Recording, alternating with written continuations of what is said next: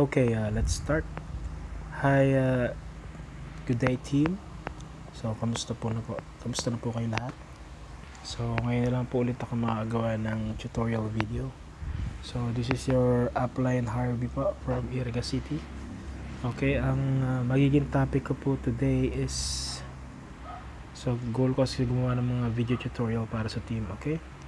So, right now, ang uh, topic ko pong gagawin, mabilisan lang is this one. How to cash in for dealers fund. Okay, using BDO payments. Okay, start na po tayo. Example po yung mga team natin na wala pang BDO, pwede po kayo mag-send sa akin, okay?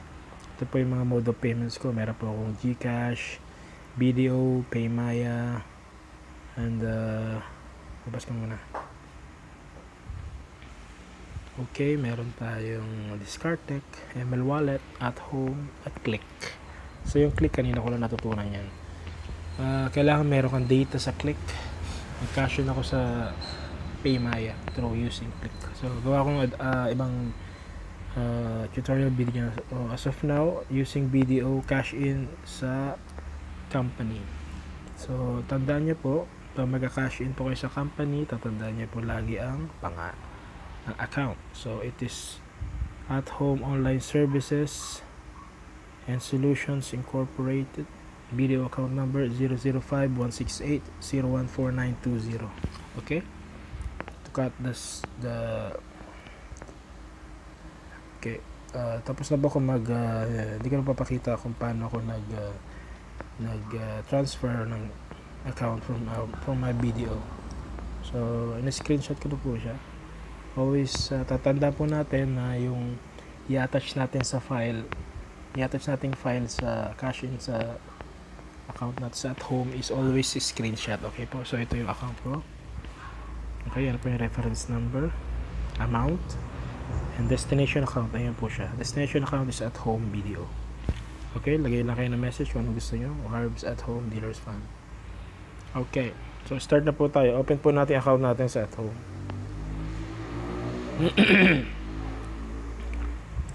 okay. Ito na po siya.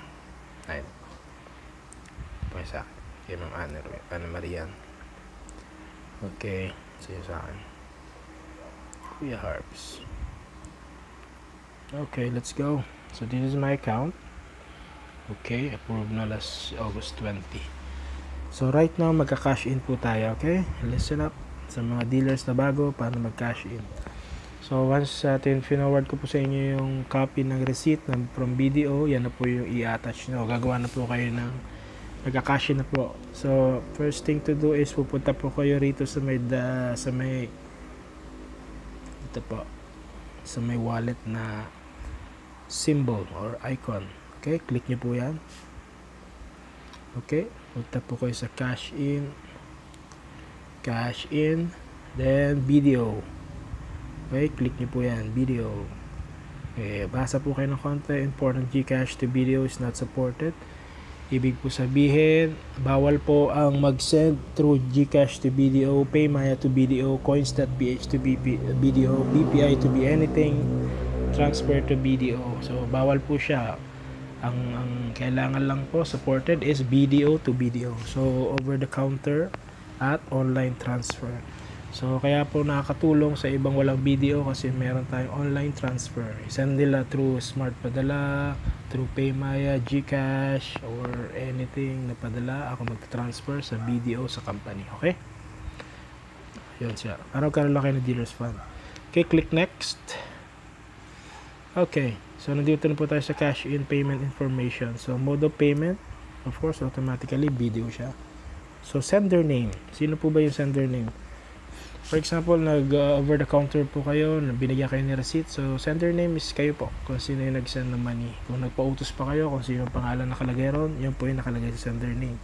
Kung nakikisuyo kayo mag-send sa through online, kagaya ko, ilalagay nyo yung sender name ng may-ari ng card. So, my wife here may-ari ng card kasi ano siya video kabayan na uh, kabayan card kasi dati po uh, nasa Dubai ako abroad so yan po yung ginagamit namin pang transfer sa remittance okay till now nagagamit po namin Okay, sender name. Mali na po yan. So, next is date deposited. Sa online po, online transfer, set lang po namin yan.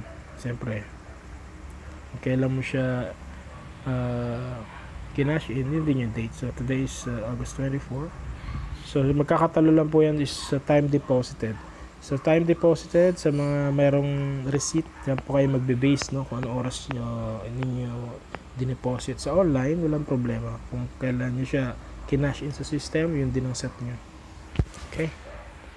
So, amount, magkano po siya? So, gumawa po ako sa notepad. Before po kayo mag-cash in, i-ready nyo na po sa notepad. Okay? So, sa notepad kanina, in-ready ko na yung yung, uh, ayan, reference number and amount. So, 1.5 yung amount. So, lagay ko rito 1.5. Oop. Pag ganyan po, pabalik-balik. So, dapat isang ano lang, para hindi na siya mag... So, balik tayo ulit. Video. Na, madali lang naman pag nakakabisado nyo na. Sender name, nakasave na dyan. Mary Ann. Date deposited, today set. Time deposited set. Amount, 1,500. Okay, reference number. Switch. Go to the notepad.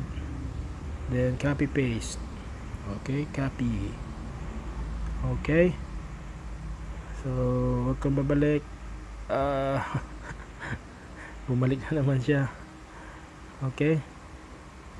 Copy paste nyo na pala agad yung ano para mabilis yung uh, reference number. Okay. The deposited. Okay. Time deposited. The amount. 1,500. So, before po kayo pumunta dito sa section ng browser nyo, dapat kinopy paste nyo na po yung reference number. Okay. So, to be sure, ayan o. Siyempre, kinopy-paste ko, pares lang yan. Pero this original, okay, dapat parehas. Huwag po kayo magkakamali, no space, no uh, hyphen, or other characters. Okay, choose file. Dito po marami nagkakamali. Choose file. So, downloads. Hanapin niyo po yung transfer ko sa inyo receipt, dapat download nyo po sa phone nyo, mobile nyo. Kasi once na nag-in-attach nyo yan sa system, hanapin po yan. So, ito po yung sa akin. Okay, click. So, next is submit. Okay, successful po yan. Minsan kaya hindi na sa successful, hindi napasok kasi hindi siya naka-screenshot. Pinicturean lang ng iba sa ng phone. After nyo picturean yung account, yung receipt nyo, screenshot nyo ulit. Yun yung i-attach nyo. Okay? So, right now, cash in history number 93516 August 24 7:3 p.m. so 1,500 p.m. okay tomorrow pangan natin yung approval so nakalagay po dyan iba't iba po ang time ng approval natin no? pansinin nyo, pansinin nyo po rito sa may mga credited okay merong uh, 1 p.m., 1 p.m., 12 p.m., 2 p.m., 3 p.m. Ngayon. So, ibig sabihin po, after lunch. Okay?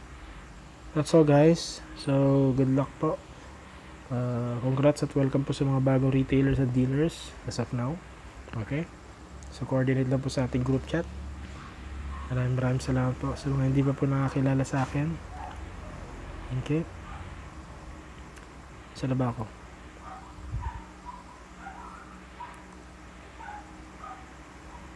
Okay? Uh, PM lang po kayo kung ano pa yung mga gusto niyo mga topic na mga gagawin natin. So, ito po ako. Okay. Team Success, Apply Harvey. And this is my mode of payment. Okay. Iriga City San Isidro. Tandaan niyo po ang ating gateway, e-load. So, yan, lahat po yan. So, till next time po.